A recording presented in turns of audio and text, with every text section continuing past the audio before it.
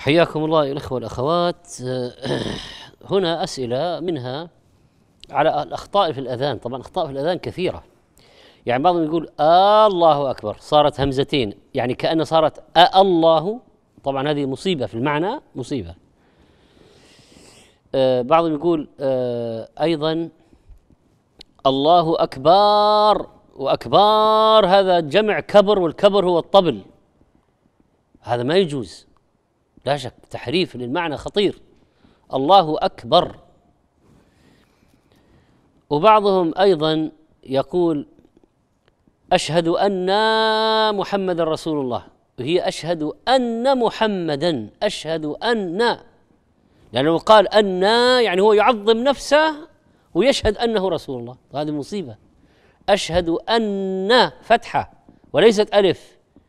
لأن بعض المؤذنين يمد على كيفه. لا عنده قواعد ولا عنده علم في بعضهم يقول مثلا حصل حصل هي حي على الصلاة.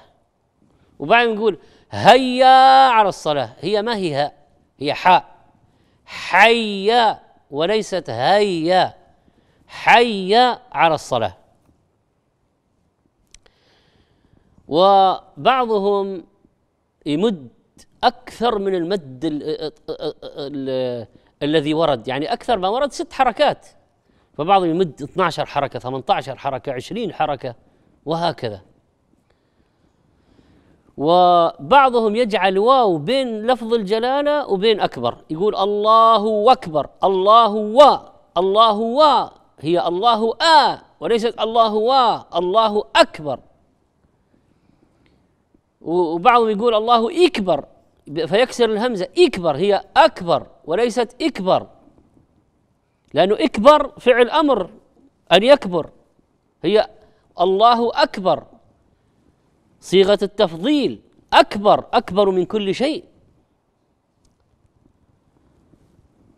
وبعضهم يقول أشهد أن لا إله إلا الله. أشهد أن وهذا خطأ. أشهد أن لا إله. نون ساكنة وراها لام فيها إدغام بغير غنة أشهد أن لا إله. وليست أشهد أن لا إله.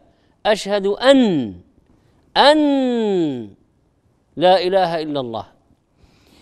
على أي حال أخطاء المؤذنين كثيرة ولذلك ينبغي على المؤذن أن يكون فطنا يقظا منتبها طبعا من الجرائم حرمان الأمة من الأذان.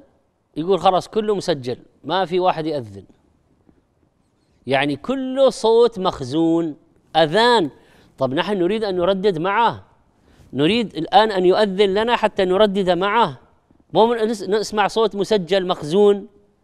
صوت مسجل مخزون. إذا سمعتم المؤذن فقولوا مثل ما يقول. وين المؤذن؟ ما في مؤذن في مسجل في جهاز في جماد. جماد جماد. وقال إذا سمعتم المؤذن الإنسان الحي الإنسان الحي. فالشاهد بدع الأذان كثيرة تنتهي بعضها إلى إلغاء الأذان وبعضها إلى تعطيل الأذان وبعضها إلى جعل ألفاظ في الأذان. ليست هي وبعضها إلى إضافة كلمات في الأذان حي على خير العمل وإضافات بعد الأذان ما أنزل الله بها من سلطان. كل بدعة ضلالة وكل ضلالة في النار. من أحدث في أمرنا ما ليس منه فهو رد يعني مردود عليه.